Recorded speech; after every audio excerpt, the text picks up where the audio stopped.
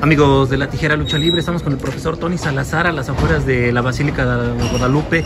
Profesor, un día importante por todo lo que conlleva místico, porque no solamente es la persona que hoy tiene el personaje, sino es toda una estructura del Consejo Mundial la que dio este boom de la lucha libre.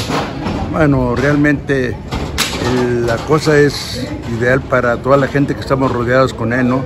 Los los que crecimos o que lo hicimos crecer a él y los que ya tuvimos cerca de él 20 años. Qué bueno que sea agradecido y sobre todo que se acuerde de Dios, que es muy importante en la carrera de cualquier luchador.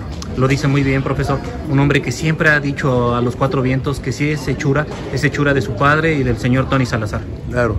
Mira, es de los pocos luchadores estrellas que reconocen realmente quién fue su profesor y quién fue el que le enseñó la lucha libre profesional profesor Tony, hoy el Consejo Mundial vive momentos de gloria, momentos de mucho trabajo, pero sin duda alguna hay mucha gente, pilares, que a veces no tienen ese foco, ¿no? Desde la parte administrativa, la parte de profesores que tiene.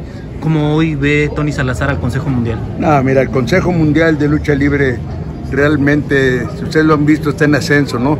Está en ascenso no solamente nacional, sino mundial.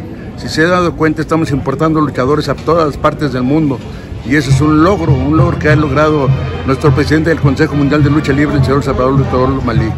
Profesor Tony, por último, ¿qué le dice hoy el tío, la persona, a ese sobrino, a ese hombre que ha hecho mucho por la lucha libre? ¿Qué le dice Tony Salazar a Místico?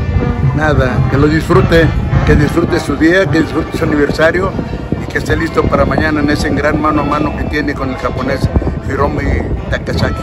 Muchísimas gracias, profesor. Para servirles.